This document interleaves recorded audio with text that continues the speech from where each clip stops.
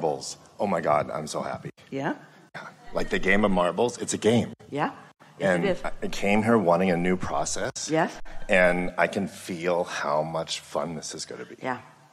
To be able to take a negative emotion, which we have many processes from you already. To be able to feel the guidance of a negative emotion and understand what it means in terms of marbles, Yes. which are thoughts. Mhm. And then to deliberately focus the thoughts in order to change the feeling. Period. Yes. Like I'm buzzing from this. Why is changing the feeling a good idea? Because I get what I feel. If I feel like a victim, you could not have ever felt like a victim. You could go to a really long movie that was really good at making you feel like a victim.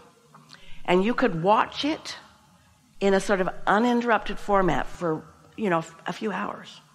And you could leave feeling like a victim, and somebody who had never beat anybody up could beat you up if you've got that vibe going. Now that's an exaggerated statement because usually you're not that fickle usually, but it could happen that way. And it's the same way with anything else in life. We Everything. pay attention to everything that's going Yeah. on in the world, and we can become a victim just by paying attention to it, just like a movie.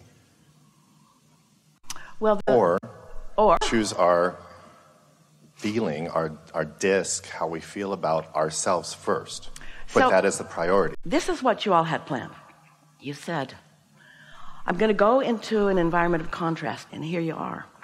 And you said, and I'm going to know what I don't want, which is going to help me know what I do want, and vice versa. And that two ends of that stick are going to help me focus into what I'm wanting. That, that makes sense, doesn't it? But here's the thing the way your world today is affecting so many of you that kind of got rolling in a strong way. It ultimately is to your advantage, but we just want to give this to you. If life comes to you and you say, I really don't care for that, I'd rather have that, and you have the luxury of time and focus to calibrate to what you prefer, it wouldn't take very much before things like that would be right there. But if a whole lot of things simultaneously that you don't want are showing up, showing up, showing up, if you're in defense mode all the time, then you're not taking the pivot when it is easy. And then you get feeling overwhelmed.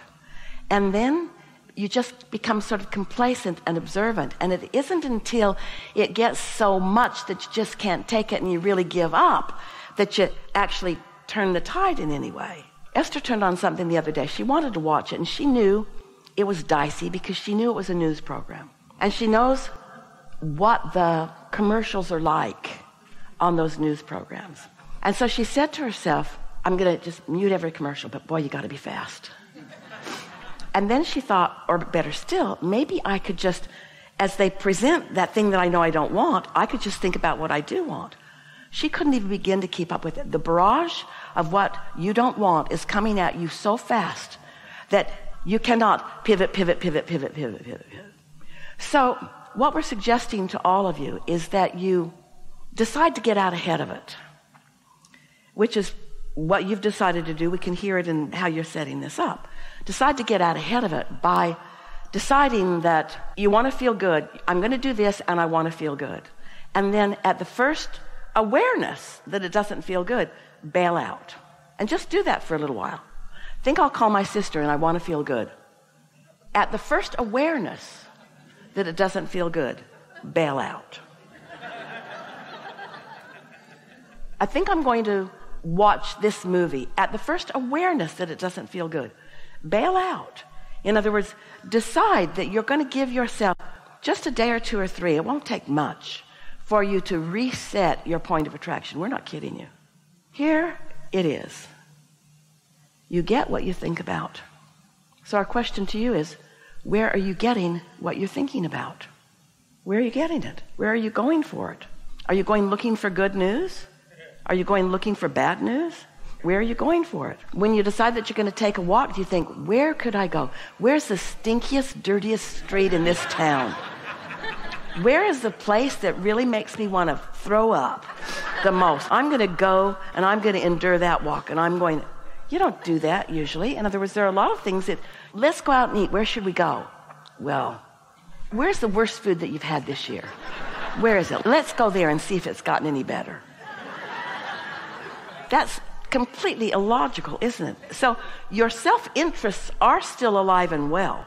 We just think that you don't realize how much you're taking on that is affecting your bag of marbles until your bag of marbles reflect back to you what you've taken on. And then you don't associate it with what you've been thinking. And that's what makes you think somebody else is doing it to you. You didn't deliberately put the marbles in your bag. And so when the active marbles attracted something back to you, you don't own it, even though you own it. Where when you deliberately start putting marbles in your bag and you start getting things back that reflect those marbles, now you're off and running. Does that make sense to you? Good afternoon. We are extremely pleased that you are here, every one of you. It is good to come together for the purpose of co creating, co creating at its best. Do you agree? You are knowing what you're wanting, you have some idea of why you're here. To contribute, we know for sure. You're smart. Life is giving you a lot a lot of questions and a lot of knowing and a lot of momentum. There's a lot of that happening in this room, a lot of momentum.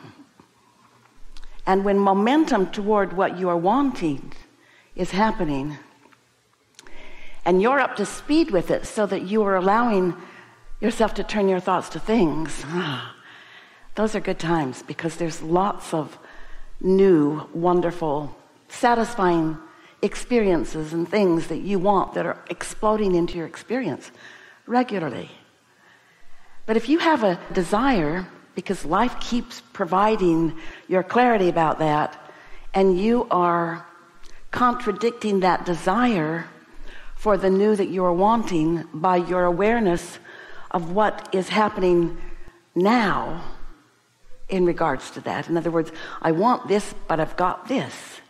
If I've got this is really a loud, frequent drum that you are beating, that beating of that drum and that offering of those thoughts sets up a resistance stream that hinders this turning thoughts to things. In other words, this vibrational reality that you have been creating even before you came into this body and every moment you've been in this body, you've been launching these rockets of clarity and preference that are uniquely yours. And you've created a vibrational reality. It's a vibrational escrow. We call it your vortex, this vibrational happening, like a gestation of creation happening that will come into your experience where you can see it and hear it and smell it and taste it and touch it, and everybody else can witness it too. But you can't be contradicting what's there by being aware of what's already manifested. And that's what so many of our human friends are doing. You are so aware of what is. You are so determined to be objective, weighing the pluses and the minuses and the pros and the cons. And so I want this, but and wouldn't it be nice if this happened? But you know, this is how it's been happening. Esther laughs at herself several times every day as she expresses historical information that is no longer pertinent to anything that's happening in her world, but sometimes it's just such a good story that she just insists on entertaining with it one more time, even though it's preventing things she wants from being able to manifest. And we say, is it worth it? You have to decide what that path of least resistance is for you. Is being right. This happened. I was there. I witnessed it. I saw it. I know you did it. I know you did it. Is that being right worth not allowing what I would prefer to flow in? Esther would say, Yes. Often, yes. It's worth it. But it never is. It never, ever is. In the moment of momentum, of pushing against, it always seems like the absolute perfect thing to do to push a little harder against something unwanted. But you know, you live in an attraction based universe. That means you get what you think about. That means if you're shouting yes at something, it's coming. That means if you shout no at something, it's also coming. Because it's your attention to the subject that causes it to be active in you. And if it's active in you, it is your point of attraction. Ooh, that's the best phrase ever. What's my point of attraction? Well, if you want to know, there's two ways to know what your point of attraction is. What keeps showing up?